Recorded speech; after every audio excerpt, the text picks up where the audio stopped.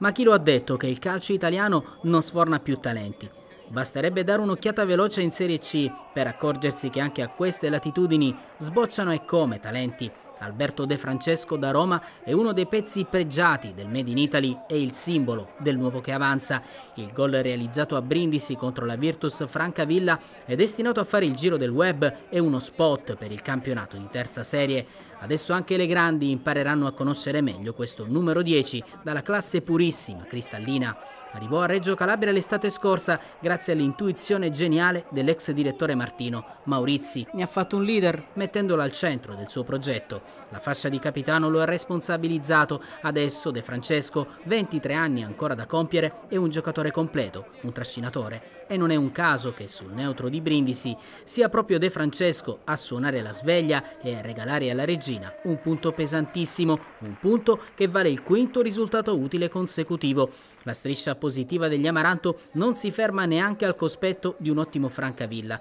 La squadra di D'Agostino ha voglia di recitare un ruolo da protagonista in questo campionato e dopo il blitz di Rende si presenta all'appuntamento con l'entusiasmo tipico delle squadre di provincia. La regina stenta ad entrare in partita e soffre la maggiore aggressività dei biancazzurri. Il 4-3-1-2 disegnato da Maurizi fatica ad accendersi, l'unico a tenere il ritmo degli avversari è il giovane Marino che dopo il gol di Fondi si guadagna una maglia da titolare. È l'unica novità rispetto alla scorsa settimana, il resto è tutto confermato, persino i disagi iniziali. Sì perché la regina, pur concedendo meno rispetto a Fondi, subisce l'iniziativa della Virtus che, pronti via, sfiora subito il gol con questo sinistro di Madonia. La regina non si scuote dal torpore e al minuto 18 rischia ancora, ci pensa tuttavia Di Filippo a murare così la conclusione ravvicinata di uno scatenato Saraniti.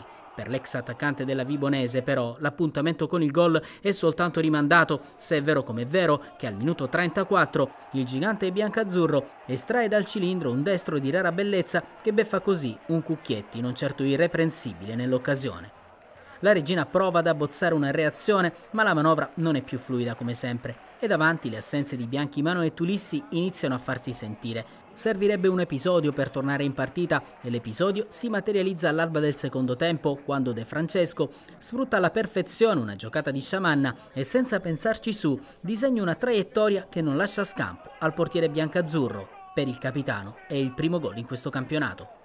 La Virtus accusa il colpo e perde in sicurezza. Adesso è la regina a fare la partita. Gli Amaranto, tuttavia, non danno mai la sensazione di voler affondare il colpo. Intanto la gara si incattivisce e così Maurizi decide di coprirsi fuori una punta, sparacello, dentro un centrocampista fortunato. Il segnale è chiaro, meglio non rischiare e così il finale regala poco in termini di emozioni con le squadre impegnate più a darsele di santa ragione che a provare a superarsi. La regina si adegua e si porta a casa un pareggio che proietta gli Amaranto in sesta posizione, in piena zona playoff. Forse è ancora prematuro guardare la classifica, ma con un De Francesco così sognare in grande si può. Il Cosenza di Braglia, prossimo avversario degli Amaranto, è avvertito martedì sera nel turno infrasettimanale. Il granillo sarà una bolgia e De Francesco è pronto a stupire ancora.